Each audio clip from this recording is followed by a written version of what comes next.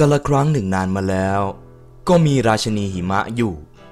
นางอาศัยในปราสาทน้ำแข็ง บนเทือกเขาอันหนาวเหน็บ ไม่มีใครรู้ว่านางมาจากไหน นางก็อาศัยอยู่อย่างโดดเดี่ยวมาเนิ่นนาน ความเหงา ความว่างเปล่า ความเปล่าเปลี่ยว มันจึงทำให้นางมักจะไปลักพาตัวเด็กชายมาที่ปราสาทอยู่บ่อยครั้ง บางรายโชคดีก็รอดกลับมาได้ แต่บางราย ชคร้ายหลงเสน่ห์ของนางเข้าแล้วแล้วก็เด็กชายก็จะถูกแช่แข็ง และก็จองจำอยู่ในปราสาทของนางตลอดกาลนางลักพาตัวเด็กมาเรื่อยๆ แต่ก็ไม่มีเด็กคนไหน ที่จะสามารถอยู่กับนางได้เลย ในที่สุด นางจึงตัดสินใจว่า จะไม่ไปนำเด็กมาที่ปราสาทอีกต่อไป ด้วยความที่นางอยากจะมีลูกจริงๆ ก่อนอื่น นางจำเป็นที่จะต้องหาพระสวามีก่อน นางจึงไปปรากฏตัวตามสถานที่ต่างๆ นางเป็นหญิงที่งดงามมาก ผิวสีขาวราวกับหิมะ ริมฝีปากสีชมพูอ่อนๆ ราวกับดอกคาร์เนชั่น ชายใดได้พบเจอนางแล้ว ก็เป็นต้องหลงมนต์เสน่ห์ของนางทุกรายไป จนเรื่องนี้กลายเป็นตำนานที่ว่า มีหญิงสาวรูปงาม อาศัยอยู่ในปราสาทอันหนาวเหน็บ บนเทือกเขาที่สูงเสียดฟ้า และบรรดาชายผู้กล้าทั้งหลาย ก็ดันด้นเดินทางขึ้นภูเขา เพื่อที่จะไปพบกับนาง ปรนเปรอนาง และหวังว่าสักวันหนึ่งจะได้แต่งงานกับนาง พวกเขาสามารถให้นางได้ทุกๆอย่าง แม้แต่ชีวิตของตนเอง พวกเขาก็เต็มใจที่จะยกให้ แต่สุดท้ายชายหนุ่มเหล่านั้น ทันทีที่เอ่ยปากขอนางแต่งงานแล้ว ถ้าหากตัวนางเองยังไม่พอใจ หรือว่าระยะเวลาการปรนเปรอนั้น มันครบกำหนดเจ็ดวันแล้วล่ะก็ ชายเหล่านั้นก็จะลงเอ่ยด้วยความตาย ไม่ว่าจะเป็นการโดนแช่แข็งจนตาย บางรายก็โดนสัตว์รับใช้ของนางนำไปโยนลงหุบเขา หรือแม้กระทั่ง บางรายก็โดนนางเอาหัวใจไปปรุงเป็นอาหาร หัวใจนางนั้นเยือกเย็นราวกับน้ำแข็ง ไม่มีชายไหน ไม่มีชายใด ที่จะทำให้นางพึงพอใจได้เลย และเรื่องราวตำนานนี้ก็ได้ไปเข้าหูชายหนุ่มนักล่าสัตว์ที่แสนห่างไกล ว่ามันมีปราสาทน้ำแข็ง และก็หญิงสาวสวย ที่หัวใจ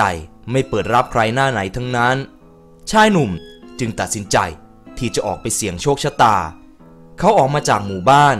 เดินทางไปที่ภูเขา ปีนขึ้นไปตามหาวังน้ำแข็ง เจอเข้ากับพายุหิมะโหมกระหน่ำไม่มีใครที่จะบ้าบินมาปีนภูเขาน้ำแข็งในหน้าหนาวแบบเขาอีกแล้ว และชายหนุ่มก็อยู่ในสายตาของราชินีหิมะมาตลอด นางเองก็แอบชื่นชมในความกล้าหาญของชายหนุ่ม หลายต่อหลายครั้งที่ชายหนุ่มกำลังจะท้อแท้และสิ้นหวัง นางก็จะแอบมอบความเข้มแข็งให้ทำให้เขา สามารถฝ่าฟันอุปสรรคต่อไปได้ จนในที่สุด หลังจากที่เขาปีนเขามาหลายต่อหลายวัน เขาก็เห็นแสงอาทิตย์สาดส่องเข้ามา และวังน้ำแข็งก็อยู่ตรงหน้าเขานั่นเอง ชายหนุ่มรวบรวมความกล้า เดินเข้าไป และก็ได้พบเจอกับราชินีหิมะ ชายหนุ่มพยายามที่จะพิชิตใจของนางให้ได้ เขาปรนเปรอนางทุกๆอย่างที่เขาสามารถจะทำได้ ในตอนนั้นนางเอง ก็ดูเหมือนว่าจะสนใจชายหนุ่มคนนี้ เขาก็ทั้งหล่อเหลาเอาการ และก็ดูเด็กกว่าชายหลายๆ คนที่นางเคยพบเคยเจอมา แต่ทว่า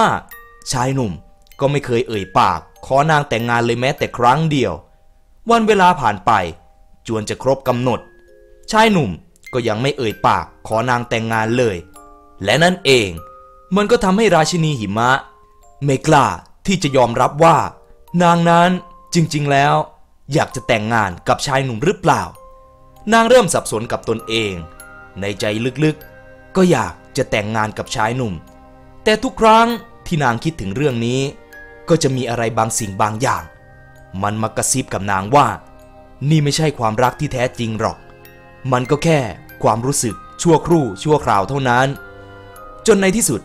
นางจึงค่อยๆยกมือ สั่งให้สัตว์รับใช้ นำชายหนุ่มคนนี้ไปโยนทิ้งซะ สัตว์รับใช้จึงพาตัวเขาไปโยนทิ้งที่หน้าผา